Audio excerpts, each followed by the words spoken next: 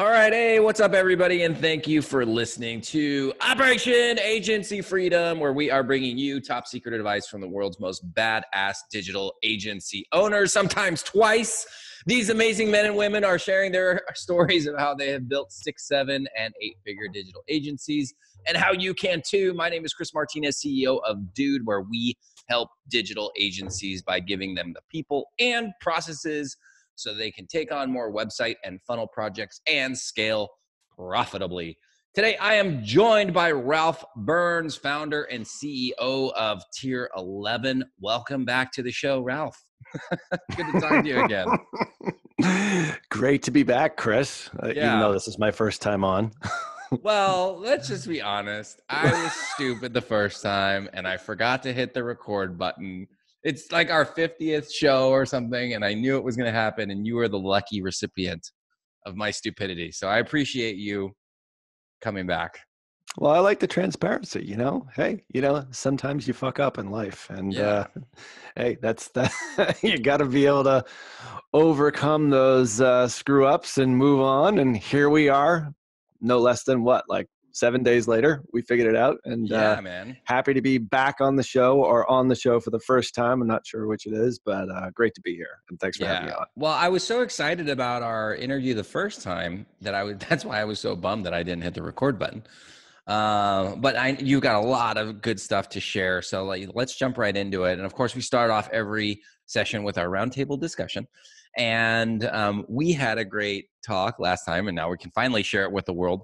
You have been fired from a few jobs. I have been fired from many jobs. The one that we talked about before that I would love you to tell that story again is the salad place. You were working at the salad place.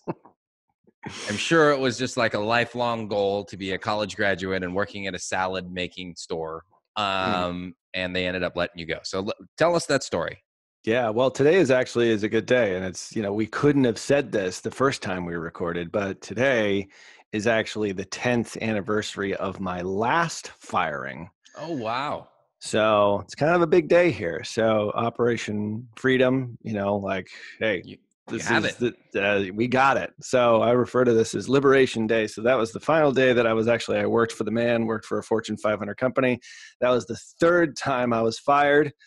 So, uh, you know, if you're a corporate misfit and like realize that the corporate world isn't exactly for you, there is life after the corporate world. You can actually start your own company and be successful at it. But the first time I was fired, I was fired from, um, I think it was the first job I had after college. I was living rent free down on Cape Cod, which is actually where I live right now. I'm in Massachusetts, but can't believe my buddy Warren allowed, uh, his parents allowed us, three or four of us, four college graduates, to live rent free at this beautiful home in Cape Cod. Of course, none of us really wanted to work all that much. We just wanted to hang around and drink beer.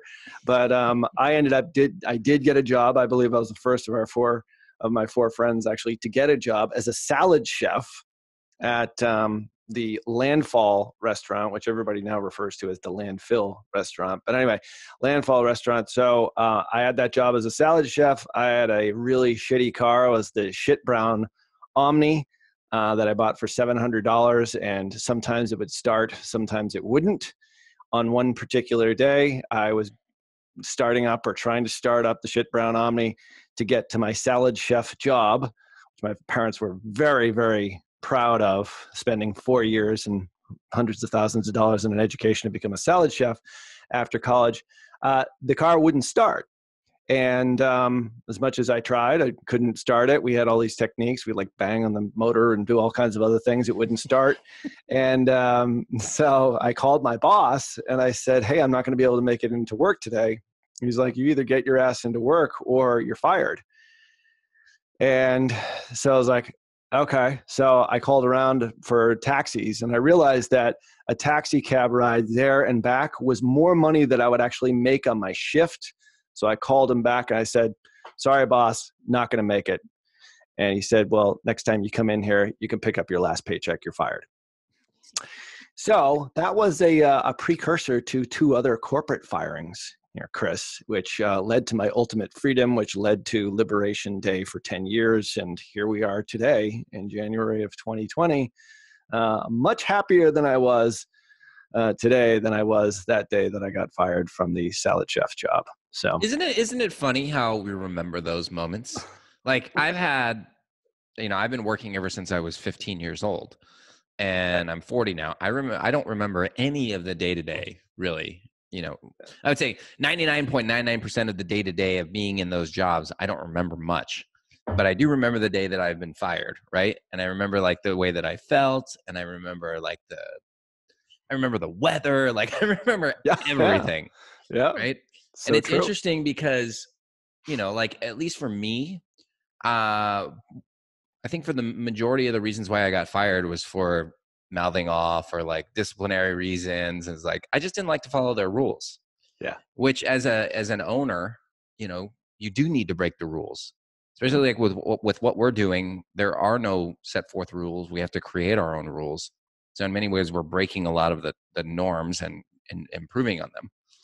But i, I think it's pretty so interesting you know that that like and, and you know just based on what i know of your personality and stuff i think that you ha- because you had the courage to say no this doesn't make sense in the in the long run it's made you a better business owner I think so. I also understood that it was shitheads like me. You know, these guys were hiring. Like I was a what, whatever I was, twenty years old, nineteen years old uh, at that time, and I'm like, wow, like retail really sucks. Like I never want to operate a retail store or a mm-hmm. restaurant with like a one percent profit margin, and I always sort that's sort of stuck in the back of my head. I mean, here I am. I'm, you know, I'm this kid and the salads are you know delivery thereof is relying on me showing up for work and i'm such an idiot i don't even show up for work. I'm like that model sucks. I never really wanted to get into that kind of business yeah um, totally. which is the reason why i went digital and you probably did the same you know?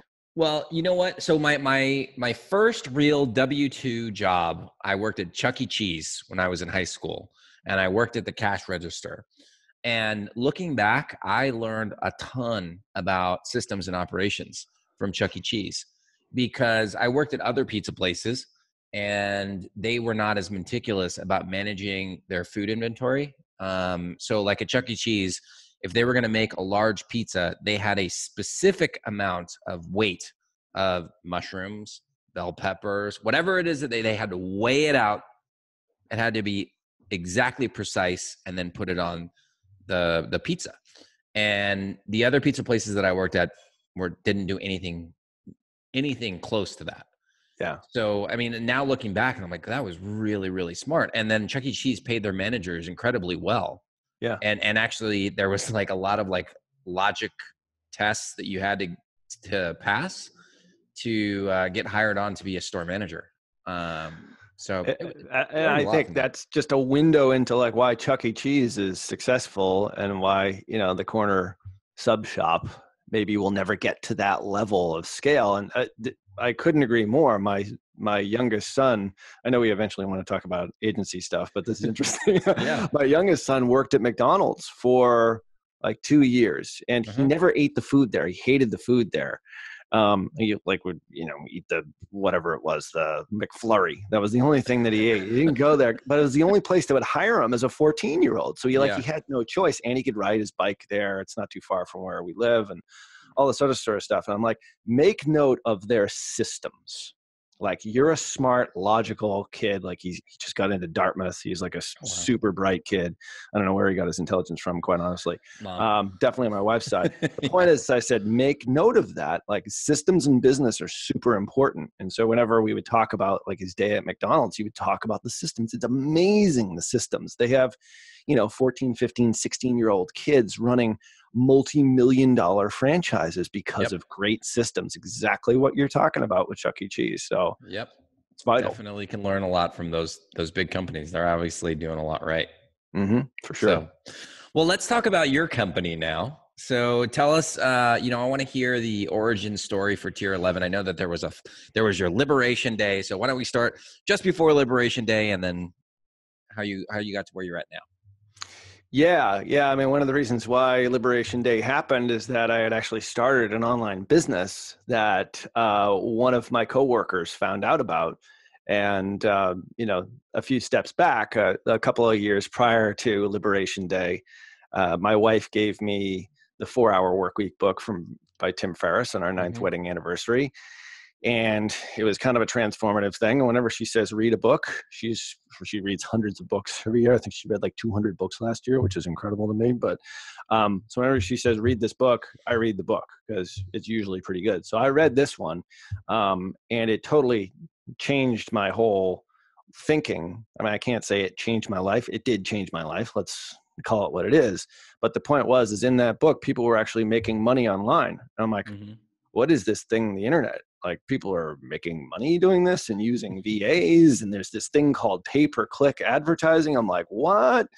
So I read that thing and I listened to it over and over again in my commute and I started listening to podcasts. And by the way, my wife got for ninth wedding anniversary, I gave her an Ethernet cable, Chris. You guys just have romance exploding out of your house.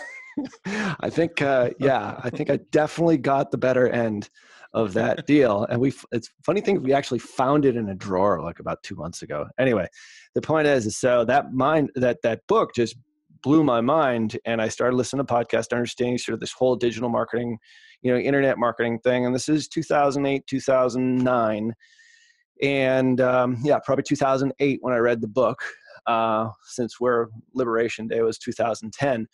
And I actually started a blog. Like one of the things that Tim Ferriss said is, well, you know, start a blog. And I started listening to Internet Business Mastery with Sterling and Jay on podcasts on iTunes. And, mm-hmm. and uh, they said, create a business out of something that you know about. I'm like, well, I'm a really good sales manager. I actually really was. I was a pretty good sales guy, but I was a better manager, better sales director. So I created a, a website that, uh, uh, I thought was brilliant and genius and would make millions for me one day called salesmanagementmastery.com and uh, you know started sending pay-per-click advertising to it this cool thing. I didn't realize like all my clicks were coming from like india and asia and singapore. And i'm like wow i've got like a list of 10000 people on here. This is amazing. I'll create a product. So i created a product a paid product for what i was doing like as in, in addition to blogging and all the other sorts of things and I launched it, bought, you know, product launch formula from Jeff Walker 2.0 version. And you know bought it the very day it came out you know. I, this whole like scarcity thing was all new to me. It was like fascinating. So i, I bought plf 2.0 launched the thing and got exactly two sales so massive what a massive launch day. That's awesome. yeah, it was incredible. Yeah a guy from new jersey and somebody from uh, syria i think bought for $67 so and i could never sell any of the stuff. Like it was my first lesson in business. It's like i created this big thing never really tested whether or not people would buy. Mm-hmm. i've since sort of learned from that experience uh, so anyway, but I realized quickly that you know it wasn't necessarily the content I loved; it was the marketing of it that I loved. Even though my launch was a total flop, I loved the idea of convincing people and and influencing people through advertising. So that's when I sort of made this shift in my mind. After getting fired, I then said, "Okay, now I need to make money at this." Mm-hmm. And so, what do you do if you have some sort of you know competency for advertising but don't have a product you go into affiliate sales which is what i started doing. So affiliate marketing i, I did that for a couple years started making money started spending you know upwards of six figures a month actually over six figures many many months in a row uh, on paid traffic on pay per click yahoo and bing were sort of my big areas. And then facebook advertising came out and the targeting back then was pretty sucky. It was like where do you live? You know are you male female? Are you yeah. interested in men women? Whatever. Where do you live? Like you know age range that kind of thing. So i said well based on the targeting this is really good for dating offers. So i became a super affiliate for a bunch of dating offers christian dating specifically. Why? I don't really know but that was the offer that converted. And um, then eventually everything sort of went south with the FTC and mm-hmm. like the affiliate world. And I said, you know, I got to like reinvent myself. And a buddy of mine said, Hey, you want to, you were doing this for all these other offers that you don't know anything about. Why don't you do that for my business? So my first agency customer was a guy I met at a cocktail party. He sold uh, picture frames, like reframing pictures. and he paid me a hundred bucks a month and I did his SEO and I did his paid advertising and I managed the whole thing. And I had him as a customer for about a year and a half. Kind of went from there. Um, eventually pivoted back to uh, all only Facebook advertising in about 2013 because the platform changed, as you know. Targeting got in there, really good targeting, obviously, ads in the newsfeed, and just started to scale up from there. In 2014, 2015 uh, is when things really started to move, and we've been growing ever since. And here it is, 2020, still doing the same thing.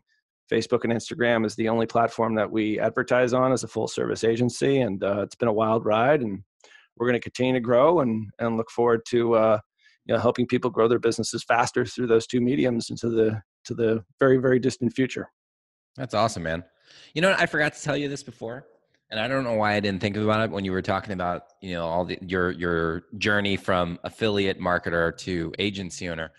I actually had a program that i created and i did a similar launch to what you did. It was called soccer sports betting secrets. So i met this guy who uh, used to bet on professional soccer um, and in Europe and um, well, mainly Europe. And I I can't even remember how I met him or whatever. And I was just fascinated because he was winning tens of thousands of dollars betting on soccer games. And so um, we basically I, and I was learning about marketing and lead magnets and, you know four hour work week and all this stuff too about the same time that you were and I was like, man, we can create this subscription based product where we sell people sports betting tips and we'll show them how to set up their accounts and all this other stuff. So we ended up running that. I, I, I mean, I think at the, the peak, it was doing like 700 a month in revenue. Um, 700 is in $700. $700, 700, not 700 members, $700 in revenue. Yeah. And, and the, the worst part, I think it's, it's funny now, but it, you know, all these games that were in Europe, I mean, they start at like, you know, 11 o'clock our time. Right. On, um, and I'm on the, I'm on Pacific Coast time.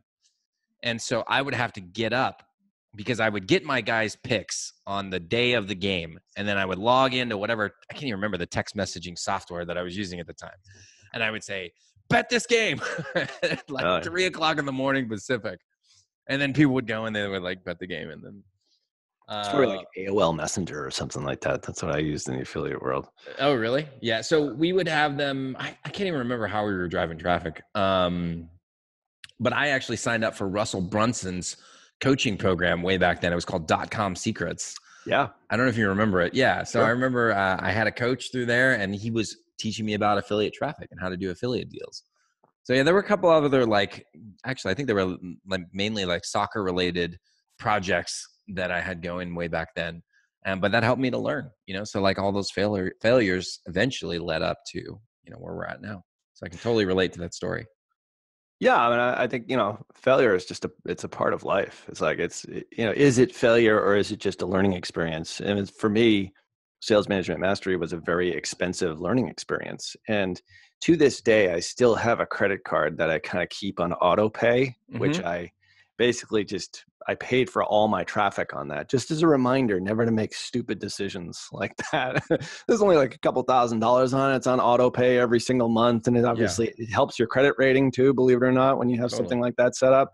Um, but yeah, don't jump into something and create an entire business unless you actually know people will buy from yep. you. like I didn't create tier 11 under the uh, under the impression that people would buy a service from me to run their ads on Facebook. I actually did it first a couple of times, did it in a couple of different ways, didn't charge a lot of money, like a hundred dollars. Yeah. You know, that was the, like I said. And then I remember the first time I charged somebody like fifteen hundred dollars. I was like, oh my God. And then I charged somebody twenty eight hundred dollars. And then it just kept going up and up from there. And you gain more and more experience. You can speak more confidently on it as you gain that experience. So all that was expensive in dollars and time, but was it really? I look at it as just experience. Totally. You know, it's experience that I still rely on to this day. Like that lesson I learned about creating a massive product that nobody buys. I still talk to our customers at Tier 11 about that. I talk to our internal teams about that when we're thinking about other products.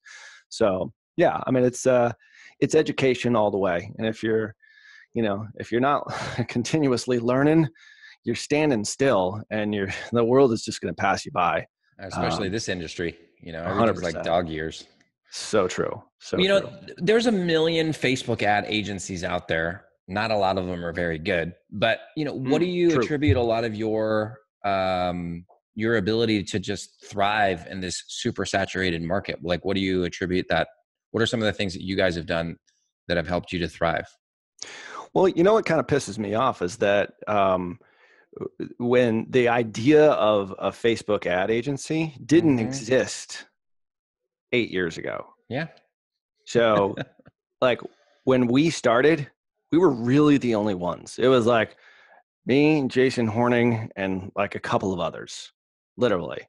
And now, like, there's hundreds, and there's a lot of shitty ones. And the ones that probably come to us uh, you know, are the ones that have tried those smaller ones and don't know what the hell they're doing. Yep, they get I think burned. there's a lot of yeah, there's a lot of build your own agency programs out there that do a horrible job, yep. but it's a business opportunity. So, you know, people are selling those types of programs, and you know, I would say probably 30 or 40 percent, if not more, of our listeners for perpetual traffic are either you know independent consultants or one man shows for agencies or agencies which is which is fine. And I, I you know I love teaching about this stuff, but I also realize that you know they're kind of getting rich on my expertise. So why not come out with a product at some point in time, which we actually are, where we can actually teach them the right way.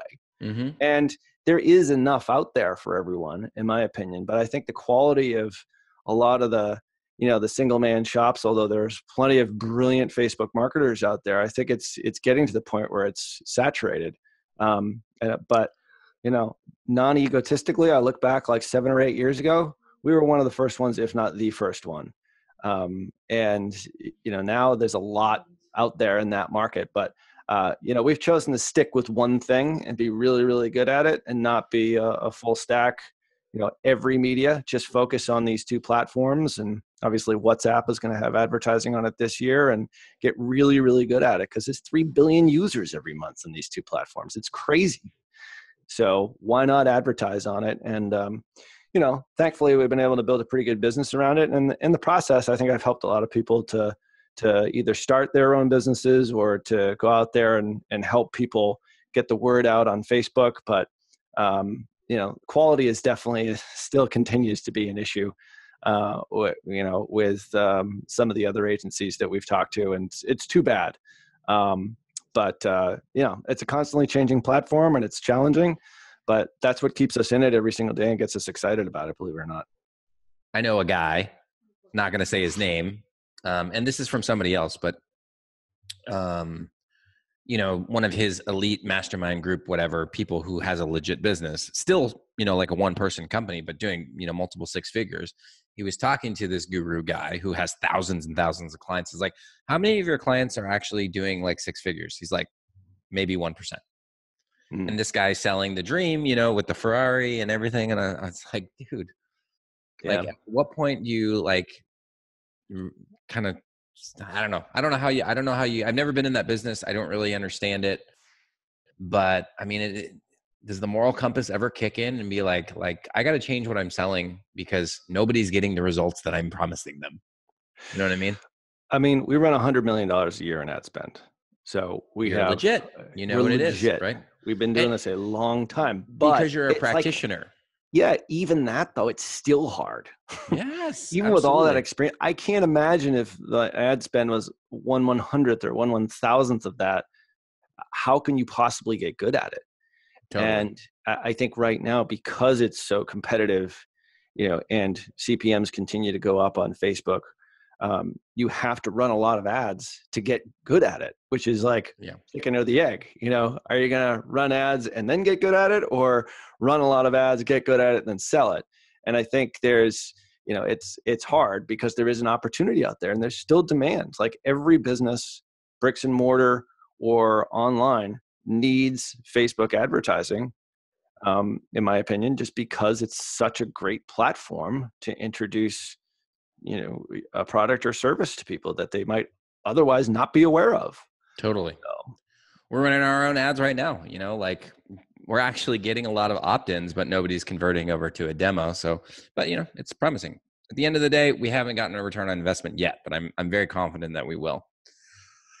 So I want to ask you a question. Um, you know, because you've got a you know a decent sized team big enough where you have a uh, vice president of operations and you've said that you know that that's one of the most important people on your team mm-hmm. um, when did you make the decision that hey i need this person in this leadership role otherwise we're not going to be able to grow yeah i think the team size was probably about 10 people at that point in time uh-huh. um, uh, there's a law of threes i forget exactly who who coined this law, but every time you triple either in people or in revenue, shit breaks.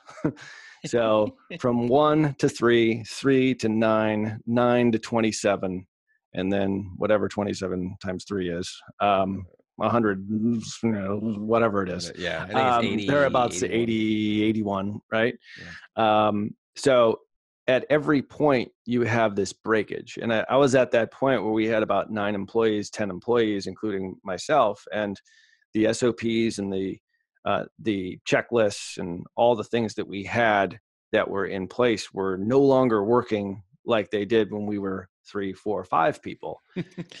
I know so, exactly what you mean. I hope yeah. there's other people out there who can relate to this because this what he's saying right now what ralph is saying right now is 100% true yeah, and so you, uh, so my biggest thing when I was building, you know, Tier Eleven, um, and we referred to it as a different name. And it, you know, technically it's Antares Enterprises Inc., but nobody really likes that name, so we changed it to Tier Eleven, um, and rebranded ourselves. But you know, I think about at that point, uh, we were we were uh, for me, I was sort of at the end of what I could do from an operational and um, logistics perspective like i had built it to that point and i think we were at about a million in revenue at mm-hmm. that point i forget exactly which i'd have to sort of go back in time but anyway we are doing pretty well but to get to that next level i knew we had to scale out obviously the team we had to continue to evolve our sops and our you know, our standard operating procedures our, our manuals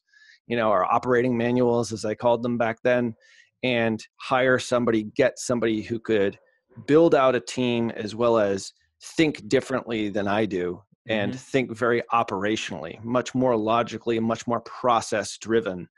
I do have sort of a process driven mind, but not to the degree of like a mechanical engineer or a software engineer. Mm-hmm. Um, so we ended up hiring a, a guy, sort of merging his agency into ours, who is still with us to this day. And for me, that was a pivotal point because what he brought to the table was was was a set of skills or talents that I was good at but not great at. I was never going to be great at it. And still to this day like he is the process guy inside tier 11 and you know we have grown as a result of that and then obviously added other pieces to it but I think when you're hiring people when you're looking for people you want to hire people that are better than what you are in specific skills or areas of expertise and that's how you really scale. And i think processes and like we were talking about with chuck e. Cheese or as mcdonald's is like systems like creating systems as much as you can around